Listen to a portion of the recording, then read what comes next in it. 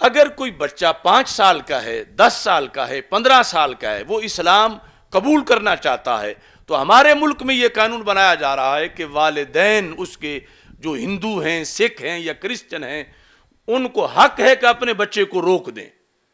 अगर शराब पीता है तो फिर नहीं रोक सकते, जिना करता है तो नहीं रोक सकते। अगर इस्लाम कबूल करता है तो फिर उसको रोक सकते हैं। और फिर 18 साल के बाद भी बाकायदा उन्हें ऐसा मौका दिया जाएगा कि वो अपने बच्चे को वापस लाना चाहते हैं बाय फोर्स उसको मजबूर करके फिर अपने मज़हब पे ले आए। तो जिस स्टेट ने इस्लाम को तहफ़ देना था, उसके अंदर इस्लाम गरीबुल वतन है कि ये इस तरह का कोई एक कानून नहीं, कई बन चुके हैं और कई पीछे अभी पाइपलाइन में मौजूद हैं और बिलखसूस ये मौजूदा हकूमत जो है मुसलसल इस तरह के बिल जो है वो पास कर रही है। तो एक तो हम यानी ये लाइव ऐसे जितने फॉर्म हैं पाकिस्तान के अंदर, वो वफाकी शरी अदालत हो या काउंसिल ऑफ़ इस्लामिक आइडियालॉजी हो या सुप्रीम कोर्ट हो या वो सैनट हो या कौमी असम्बली हो, हम अपने आप को इस मौजू पर दलाइल देने के लिए पेश करते हैं कि वो ये ना कहें कि हम इस्लाम के मुताबिक कर रहे हैं, मुकाबले में किसी के पास कोई दलील नहीं थी।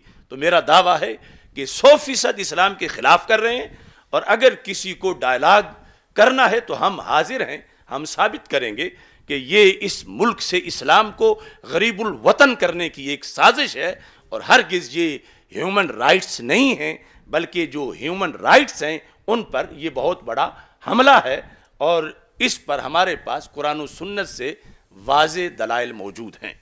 जबरी तब्दीली मज़हब की रोकथाम का कानून, इसके इंसदाद के लिए ये कानून बनाया जा रहा है। ऊपर ये टाइटल है, दूसरी तरफ़ माना क्या है? पाकिस्तान में किसी गैर मुस्लिम के इस्लाम लाने पर पाबंदी।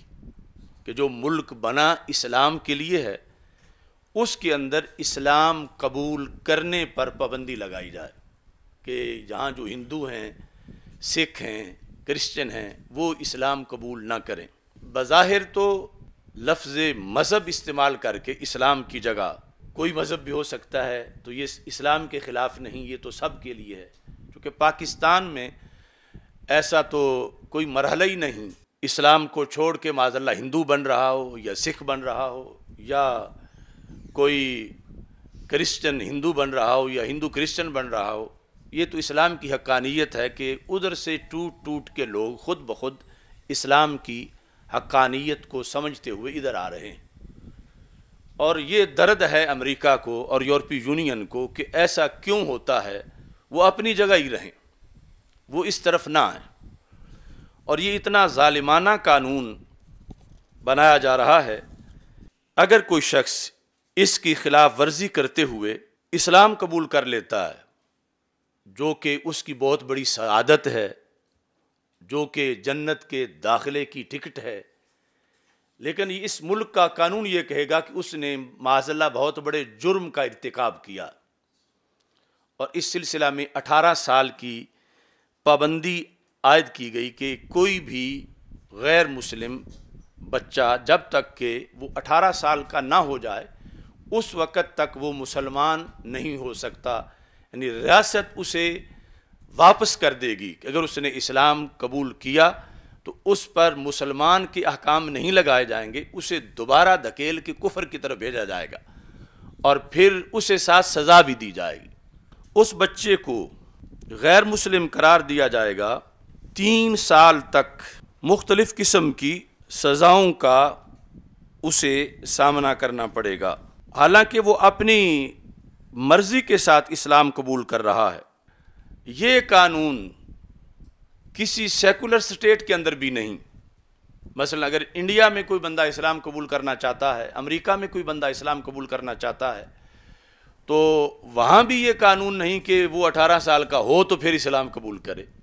और ये जो कलमे की बुनियाद पे बनने वाला मुल्क है, यहाँ ये उस पर लाजम किया जा रहा है कि वो 18 साल का होगा और एक फिर लंबा प्रोसेस है जिससे गुजरने के बाद वो मुसलमान हो सकता। अगर वो 18 साल से पहले कलमा पढ़ता है तो माजल्ला उसे कम अज कम पाँच साल कैद किया जाएगा।